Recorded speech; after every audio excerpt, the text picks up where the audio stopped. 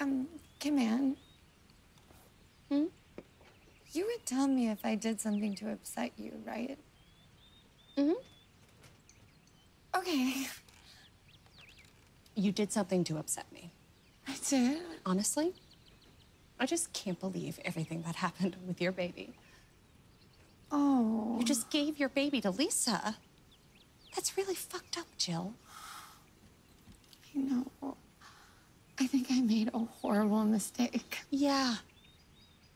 Why would you give your baby to Lisa and not me?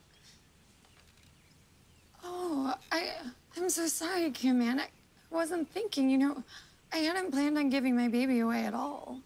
Well, You know, if it makes you feel any better, I really miss Madison.